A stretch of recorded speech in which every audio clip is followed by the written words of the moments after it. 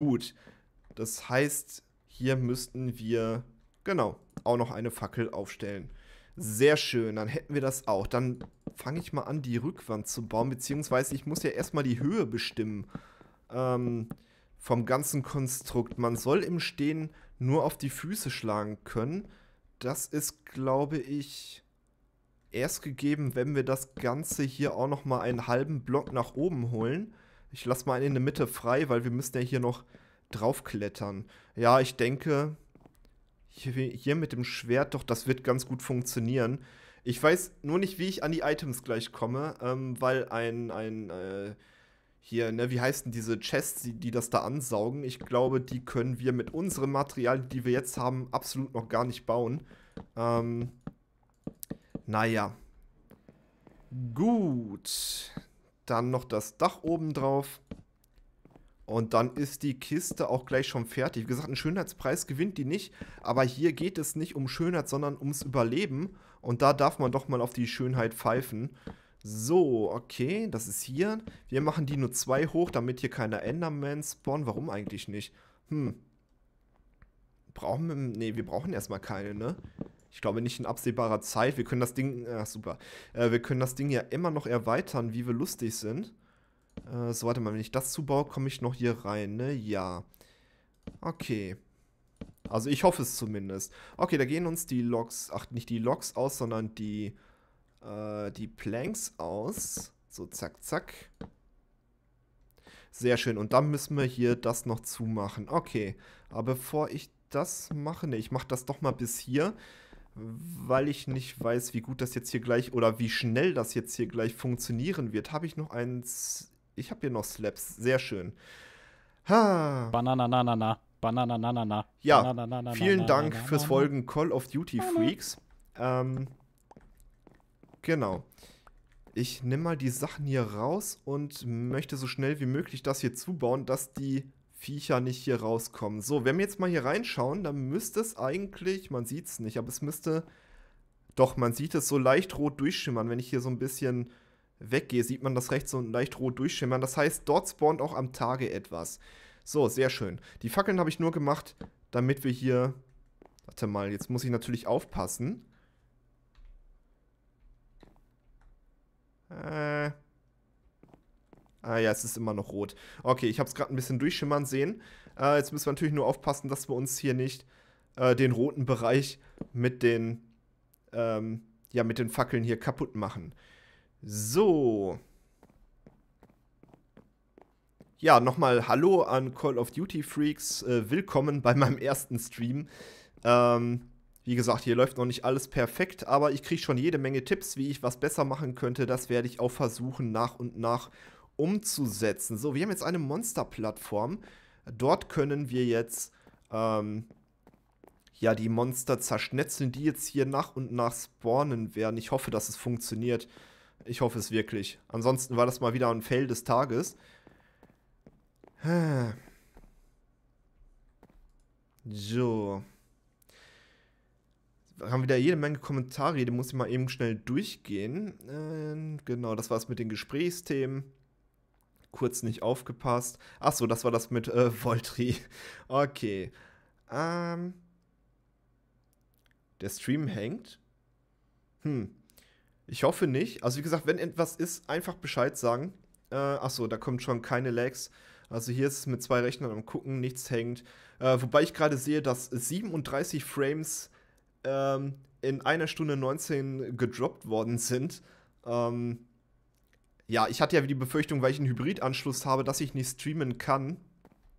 Und ich muss zugeben, ja, es ist erschwerend, ähm, mit so einem Anschluss zu, ähm, zu streamen, weil diese äh, Packet Losses da ähm, verstärkt vorkommen, weil das Bonding nicht hinterherkommt vom Router.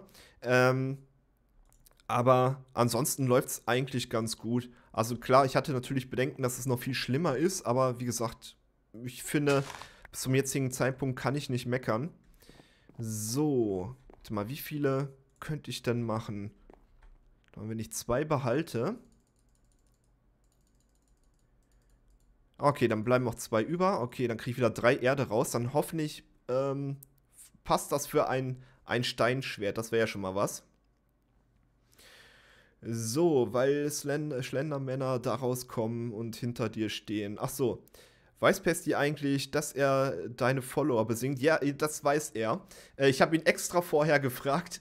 Ich habe jetzt natürlich keinen äh, Screenshot, aber er weiß davon Bescheid. Ich habe ihn extra vorher gefragt, ob ich seine Vocals benutzen darf. Und wir sehen auf der Map, wenn ihr mal auf der Map schaut, südlich von mir, ähm, befinden sich Monster. Das heißt, die Monsterfalle scheint, also ich hoffe, die sind auf der Monsterfalle und nicht hier hinter uns, äh, scheint zu funktionieren. Das ist sehr schön. Jetzt brauchen wir noch ein Schwert. Ähm, um uns dieser anzunehmen. Ähm, rate mal, wer ich auf YouTube bin, von den Leuten, die ab und zu mal kommentieren. Ha, wie geht's euch allen so? Okay. Hm.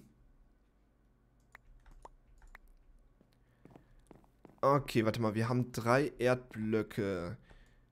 Ich versuche jetzt mal zwei Cobblestones rauszubekommen. Ihr könnt mir ja die Daumen drücken. So, wie viel sind denn jetzt rausgekommen? Ja, das reicht. Wir kriegen drei Stück sogar raus. Wir brauchen aber nur zwei. Ähm, sehr schön. Ach nee, ich habe keine Sticks mehr. Verdammt. Okay. So, dann das Schwert noch. Und Time to Strike. Jawohl, und das werden wir auch gleich mal hier drüben ausprobieren. So, Deep Ocean ist hier übrigens auch interessant. Warte mal, hier vorne ist noch River.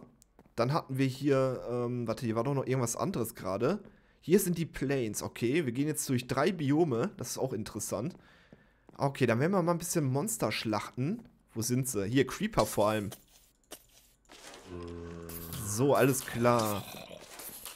Aber ich brauche eigentlich die Skelette. Ja, das ist jetzt ein bisschen doof. Ich komme gar nicht an die Sachen dran. Wie kann ich das denn lösen, verdammte Axt? So, da ist auch ein Skelett, jawohl. Oh, ich habe ein paar Hüte äh, freigeschaltet. Mist, ich muss hier irgendwie... Irgendwie muss ich hier reinkommen. Ich habe keine Ahnung, ob ich... Ob ich einen Slap hier wegnehmen kann. Äh, ist das gut? Ich habe keine Ahnung. Ich versuch's einfach. Jawohl, es ist... Nein, es ist nicht gut. Mist, jetzt sind aber auch keine Monster mehr drin. Ähm, ich muss mir hier so eine Tür einbauen oder sowas. Ich glaube, das werde ich machen. Aber ich muss die Sachen haben. Äh, Mist, Mist, Mist, Mist. Wo ist meine Axt? Äh, so schnell alles rausholen und wieder zumachen. Ähm, ja, das ist ein bisschen suboptimal. Das habe ich mir schon gedacht. Ich muss mir hier an der Seite eine Tür oder sowas einbauen, dass ich hier reinkomme. Ähm, Wobei eine Tür, na, da geht wieder Licht durch, ne? Das ist natürlich auch nicht so cool. Egal, wir haben auf jeden Fall ein bisschen. Nein, wir haben keinen Bone Meal bekommen. Aber wir haben ein, ein äh, Common Treasure bekommen. Und was hatten wir drin? Natürlich ein bisschen Goldcoins zum Einschmelzen. Da bekommen wir Nuggets raus. Oh, ein Emerald. Und eine Potion of Healing. Auch nicht schlecht. Ah, okay. Hm, was haben wir hier? Ja, ich, ich bin nicht so ganz drin. Ich weiß nicht, wer du bist, wenn ich ehrlich bin gerade.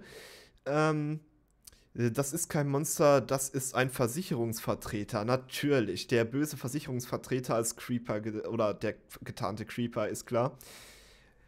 Keine Tür, äh, Zombies können diese kaputt machen. Ja, Metalltüren aber nicht. Ja, okay, bis zum Eisen dauert es noch ein paar Jahre, wenn es so weitergeht. Ähm, also gefühlt zumindest. Äh. Wobei, können Zombies eigentlich wirklich die Holztüren aufkloppen? Das habe ich noch. Also, ich meine, in neueren Versionen ist das gar nicht mehr so extrem, oder? Ich meine, die boxen zwar an die Tür, das hört man auch. Aber ob sie die wirklich zerstören können, das habe ich schon lange nicht mehr gesehen. Ich weiß nicht. Vielleicht bin ich da nicht mehr so im Bilde. Okay.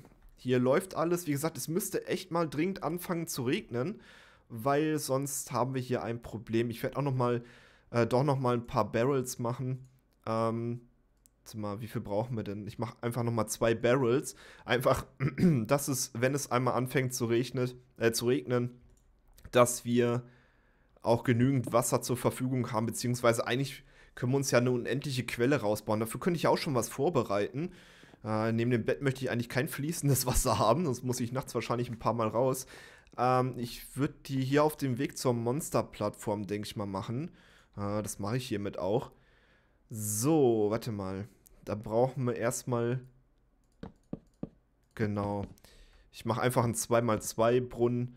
Ähm, das heißt, hier kommt das Wasser rein, dann muss ich hier noch einmal drum bauen. Ja, ich weiß, jetzt können hier Monster spawnen, aber ich leuchte das gleich alles aus. Alles kein Thema. Okay, dann baue ich das. Ja, wie soll man jetzt hier rankommen eigentlich? Ach, ich bin doof. Äh, wie soll man hier eigentlich jetzt rankommen? Na super. Fast zerstörte Blöcke wieder ähm, aus dem Fokus verlieren und ja, kennt man, ne? So, jetzt muss ich hier aber irgendwie rankommen an das Wasser. Dann kann ich ja mal ein paar Stufen oder sowas bauen. Ähm, ich hätte es auch tiefer machen können, wobei da hätte ich auch Wasser für gebraucht, dass wir überhaupt runterkommen. Äh, ich glaube nur im Hard-Modus, äh, das weiß ich nicht. Hab sehr, sehr lange kein Singleplayer mehr gespielt, deswegen kann es sein, dass diese Info veraltet ist. Ja, aber dieses Modpack basiert auf 1.7.10, also ist es nicht auf 1.10.2. Ähm, deswegen kann es sein, dass es da noch so ist. Ich weiß es nicht. Ich habe, wie gesagt, das schon lange nicht mehr gesehen, dass die äh, Zombies das machen. Ähm, so, warte mal. Ich wollte doch hier noch so einen kleinen Aufstieg machen. Genau, so ein und dann. Ja, wobei, da mache ich das halt so. Dann kommt man hier an das Wasser dran. Ähm, ach ja, ausleuchten nicht vergessen. Wo sind meine Fackeln? Wieder tief im Inventar verschwunden. So. Sehr schön, da habe ich alles vorbereitet. Jetzt muss es, wie gesagt, nur noch anfangen äh, zu regnen. Gut. Da sind wieder Monster gespawnt. Das ist natürlich ganz klasse. Ähm, aber wisst ihr, wie man das am besten wahrscheinlich rausfinden kann, ob die Monster die Türen einrennen können? Ich werde einfach mal eine Tür bauen. Ähm, ist ja nicht so aufwendig. Wir müssten vorher nur, hoch, wir müssten vorher nur alle Monster eliminieren, dass uns vor allem die Creeper mh, hm, nicht diese Plattform hier zerstören kommen, denn, äh, zerstören können. Denn ich habe kein Keep Inventory und kein äh, Mob Griefing ausgestellt. Das heißt, die Creeper, die werden die Krater hinterlassen, äh, die sie hinterlassen müssen. Ähm, ist hier noch was? Ja, da ist noch was. Okay, warte mal, hier ist auch noch was, oder? Ne, hier ist nichts mehr. Okay.